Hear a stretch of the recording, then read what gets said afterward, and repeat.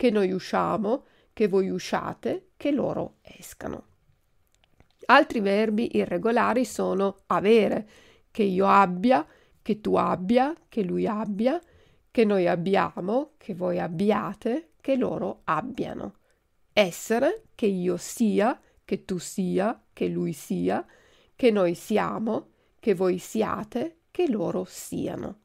Bere, che io beva, che tu beva, che lui beva, che noi beviamo, che voi beviate, che loro bevano.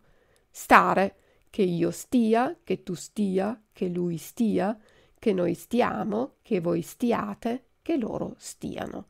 Dare, che io dia, che tu dia, che lui dia, che noi diamo, che voi diate, che loro diano.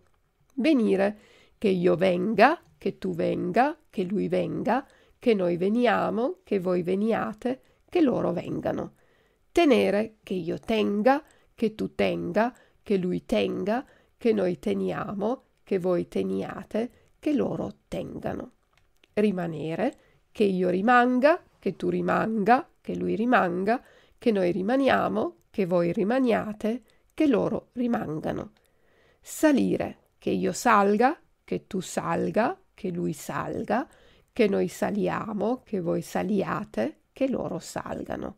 E l'ultimo verbo spegnere, ausschalten.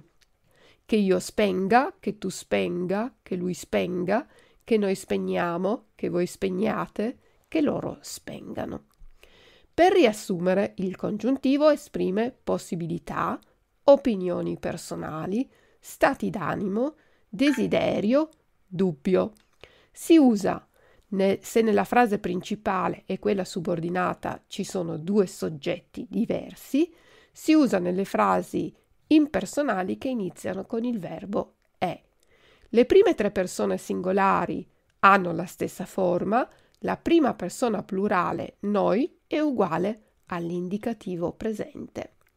Spero che il congiuntivo presente adesso sia più chiaro e vi ricordo che potete trovare la trascrizione dell'episodio sulla pagina www.il-tedesco.it. Vi ringrazio per l'ascolto e arrivederci al prossimo podcast dalla vostra insegnante di italiano Luisa. Ciao ciao!